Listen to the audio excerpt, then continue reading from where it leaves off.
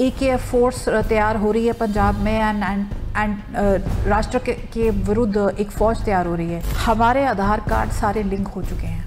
हमारे को एक पैसा भी आए तो बैंक से कॉल आ जाती है कि आपके अकाउंट में एक डॉलर भी फालतू क्यों आया है?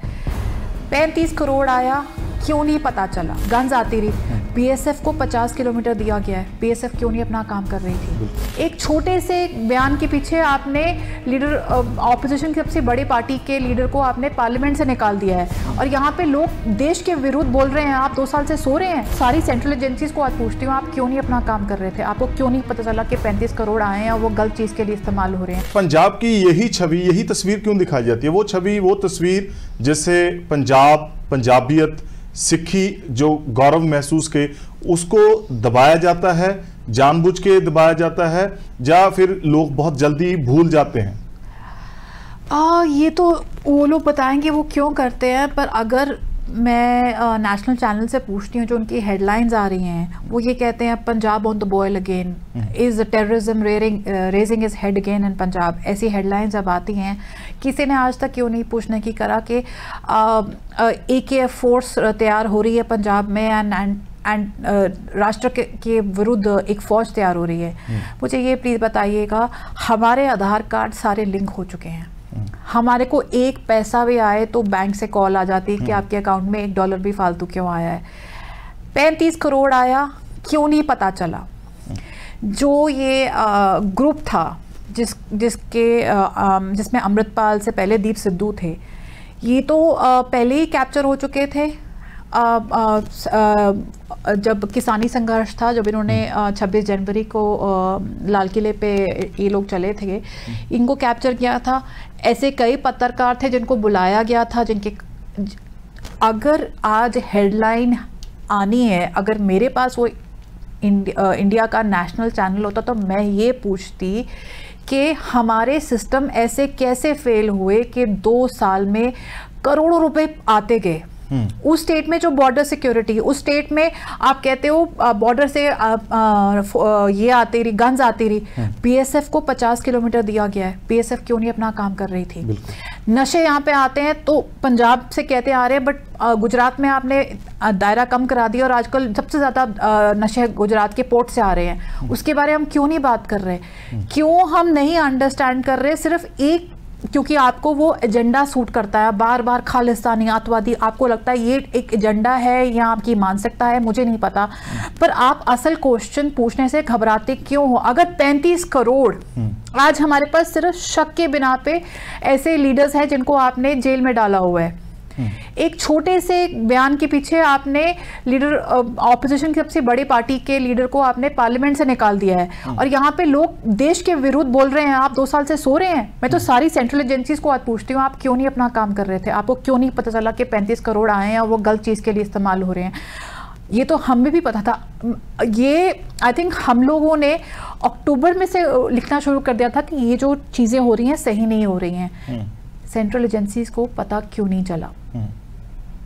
गौरी साहब जहाँ से बात मैंने आपकी छोड़ी थी, मैं उसकी बात तो करूँगा, लेकिन मैम की बात के बीच में से एक बात मैं ज़रूर ये पूछना चाहूँगा चाहे किसी को ठीक लगे, ना लगे। मेरा एक सवाल है कि खालिस्तान की मांग करना, डिमांड करना गलत कैसे हो सकता है? हर हर बंदे को जब डेमोक्रेसी में जो हमारे फंडामेंटल राइट्स हैं उसमें से उसको बोलने की आज़ादी है, कोई चीज़ मांगने की आज़ादी है। इवन कि सुप्रीम कोर्ट की जजमेंट ये एक चीज़ कहती है कि खालिस्तान की मांग आप कर सकते हैं, उससे आपको कोई नहीं रोकता। और खालिस्तान का मतलब एक खालस, जो पवित्र स्थान है, उसकी बात है। किसी ने ले तो लिया नहीं, किसी ने कोई बना तो लिया नहीं। हाँ सरकारों की नज़र रखनी ज़रूरी है कि एक जो अखंड भारत है, इसकी खूबसूरती को बरकरार रखना, बहाल रखना, ठीक है, उनकी ज़िम्मेदारी है। जैसे मैम ने सवाल किया कि आज आधार से हर चीज़ लिंक हो चुकी है आपको सब चीज़ पता चलती है। लेकिन जब चीज़ इतनी बिगड़ जाती है तब ही क्यों ये सारी चीज़ें बाहर निकल के आती हैं? इसका मतलब कि आपका मकसद और मतलब कुछ और? है देखिए सवाल करना जो है वो उसका जो उसकी पृष्ठभूमि है उसमें जाना पड़ेगा और उसको समझना पड़ेगा। जो खालिस्तानी आंदोलन था उसमें जो उस आंदोलन को लेकर जो परिस्थितियाँ बनी थी हम्म। और उसके साथ में जब आतंकवाद जुड़ा था तो देश के सामने सबसे बड़ी चुनौती थी। हम्म। आप किसी भी देश में दूसरा देश बनाने की बात नहीं कर सकते क्योंकि आप राष्ट्र विरोधी कहलाएँगे राष्ट्र विरोधी कहलाएँगे हम्म, आप ऐसा नहीं हो सकता कि आज मैं बोलूँगा कि मैं आज मान लिया जाए मैं इंदौर में बैठकर बात कर रहा हूँ और अचानक से मैं ये घोषणा कर दूँगा कि इंदौर जो है अब भारत का हिस्सा नहीं रहेगा और मैं अपना देश अलग से बना रहा हूँ। हम्म, तो हमारे संविधान में जो है इस बात की मनाही है। हम्म, खालिस्तान शब्द का मतलब एक अलग बात है लेकिन उसके पीछे जो मकसद है वो क्या है क्या था और उसकी वजह से हमने देश में आतंकवाद का कितना बड़ा दौर झेला पंद्रह साल तक हम्म, ये आपने सबने देखा होगा। अब सवाल ये है कि हम संविधान के दायरे में जो भी बात होगी वही हो सकती है इस देश में। हम्म, ये हर देश के हर नागरिक के लिए ये कानून है।